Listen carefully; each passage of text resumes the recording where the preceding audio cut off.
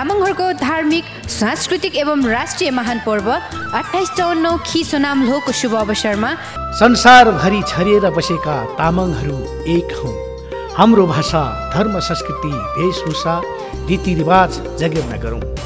भन्ने हेतुले दुई हजार पाँचमा तामाङ समाज मलेसिया स्थापना भई दुई हजार अठारसम्म निरन्तर आफ्नो भाषा धर्म संस्कृति रीतिरिवाज रेन्ठिमलाई निरन्तर दिँदै आइरहनु भएको छ।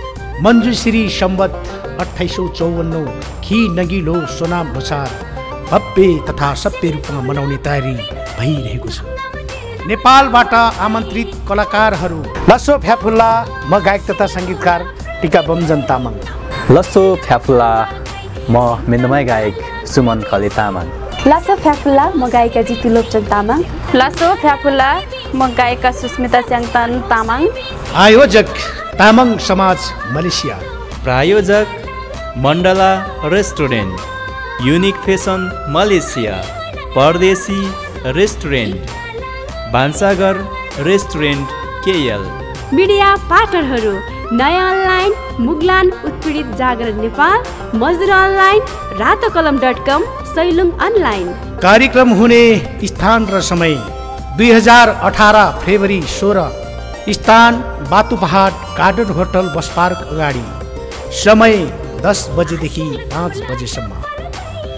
दुई हजार अठार फेब्रुअरी सत्रमा Kuala Lumpur hotel arena KL Malaysia. हामीहरू त्यहाँ आउँदैछौ। तपाईँहरू पनि आउनुहोस् है। फुलबारीमा फुल फुल्यो। कान्छी तिमी मन भुल्यो।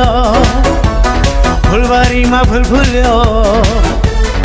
तिमी मन भुल्यो। सुमन घले तामाङ। किलो सटी नाइन खाला हो हे नाइन खाला हो। जाबी मेन्द माख मागी चोला भाला है चोला भाला जितु लोप्चन तामाङ।